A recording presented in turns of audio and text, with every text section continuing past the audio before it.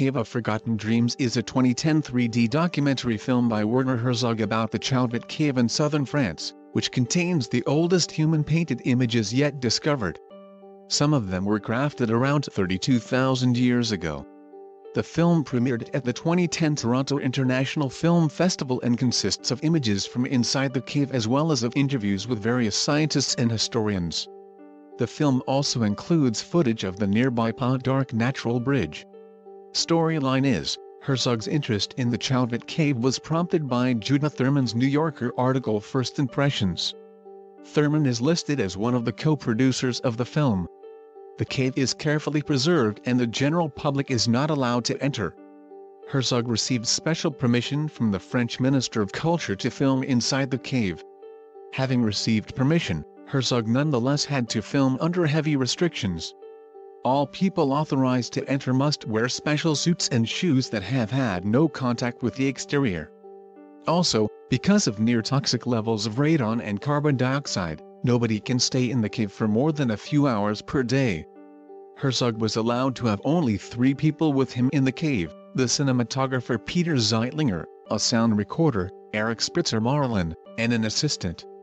Herzog himself worked the lights. The crew was allowed to use only battery-powered equipment they could carry into the cave themselves, and only lights that gave off no excess heat. The 3D cameras were custom-built for the production, and were often assembled inside the cave itself. 6. Herzog was allowed six shooting days of four hours each. The crew could not touch any part of the cave's wall or floor, and were confined to a 2-foot wide, 0.61 m, walkway, the production encountered several technical difficulties in working with the 3D cameras in a documentary setting. At the time of production, 3D films were typically shot on stages with heavy use of digital manipulation. Often, foreground and background elements would be shot separately and digitally composited into the finished shot. Techniques for 3D filmmaking in natural environments with a single camera and no compositing were largely undeveloped and had to be worked out experimentally by the crew in post-production.